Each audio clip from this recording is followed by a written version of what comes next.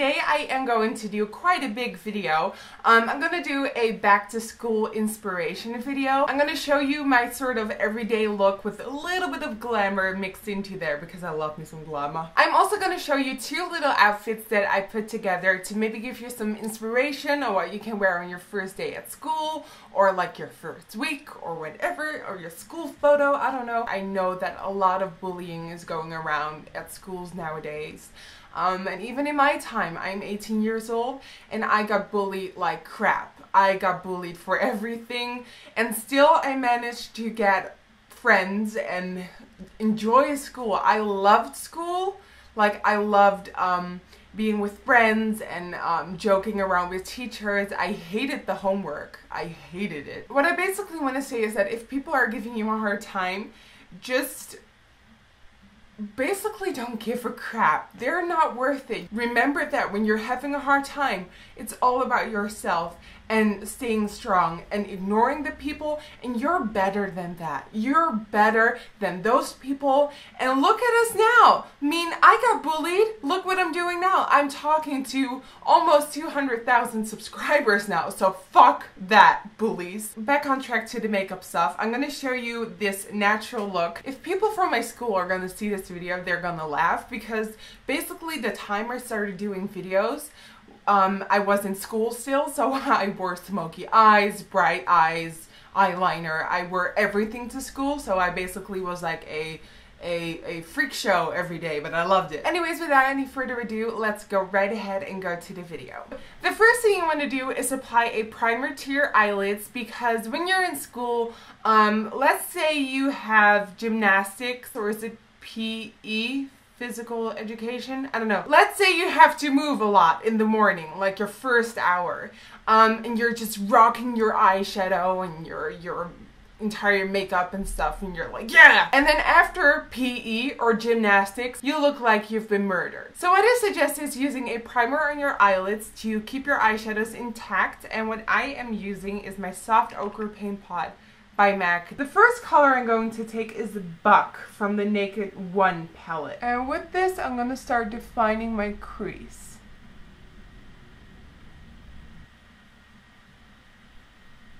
Now I'm going to take naked eyeshadow. With that, I'm defining the inside, the inner part of my crease a little bit more. I often get questions about why I go all the way in with my crease.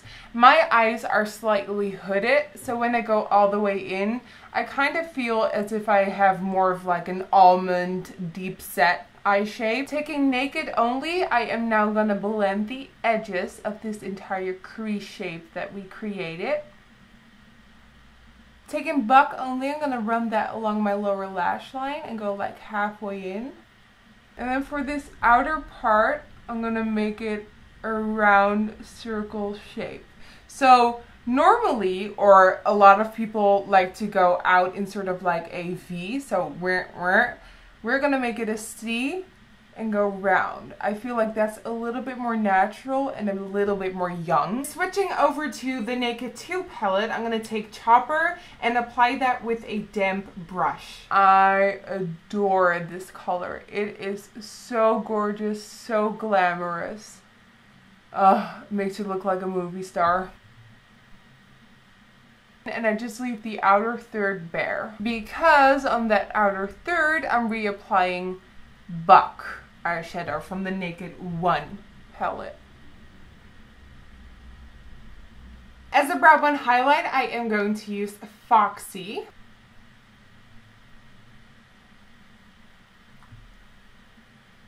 And for my inner corner highlight, I definitely suggest this because this opens up your eyes like no other. I am going to use Half Baked and Booty Call, and I'm going to mix the two together and apply those with a damp brush as well. I'm quickly going to apply my Ben Nye Neutralizer Cream Crayon to my waterline. I choose this over white because I think white is too stark and too fake and a nude color is much more natural and pretty. I'm not going to curl my lashes with my Shu Uemura eyelash curler and then after that I'm going to apply a mascara and this is the Makeup Studio Waterproof 3D Extra Black.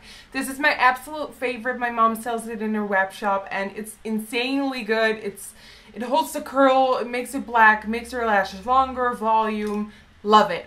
For my cheeks, as you know, I can't live without contouring. For my contour, I use my NYX blush in taupe. This is my favorite contour color for light skinned people. And then to warm it up a little bit more, I use my Illamasqua Disobey blush. And then for the actual blush itself, I mix two colors together. This is NYX blush in peach and I mix it together with my MAC Pink Tea blush and together they make such a nice like cute flush. And then of course, you know, I love glowy skin and highlighters and stuff. And for that, I use my Extra Dimension Skin Finish by MAC in Superb. For my lips, I'm gonna take a new MAC lipstick. This is Pink Pearl Pop. And it looks really, really bright in, in, in like, right, looks really, really bright like that. And if it's too much for you, you can always go ahead and go on top with some lip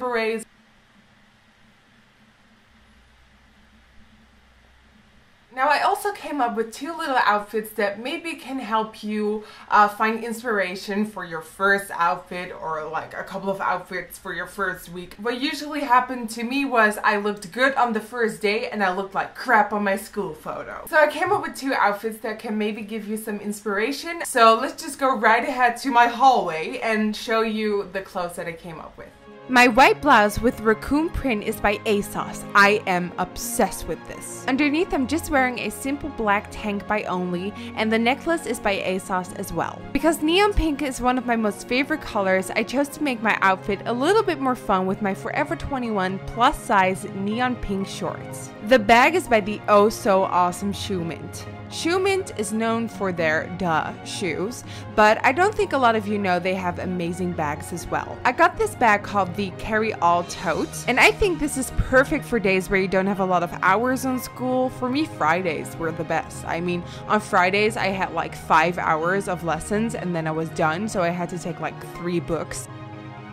Mint is a website where you take a personal quiz, and out of that quiz, you kind of get a bunch of like shoes and bags and stuff that fits your style the best. And that way, Mint kind of knows what kind of style you have, so that's pretty neat. Remember Rachel Bilson from The OC? She and Steve Madden, yes, the Steve Madden, they kind of work together on all of these shoes, and voila, you get perfection. Anyway, go check Mint out. They have some really, really cool stuff. This Carry All Tote bag by Shoe Mint retails for $79.98.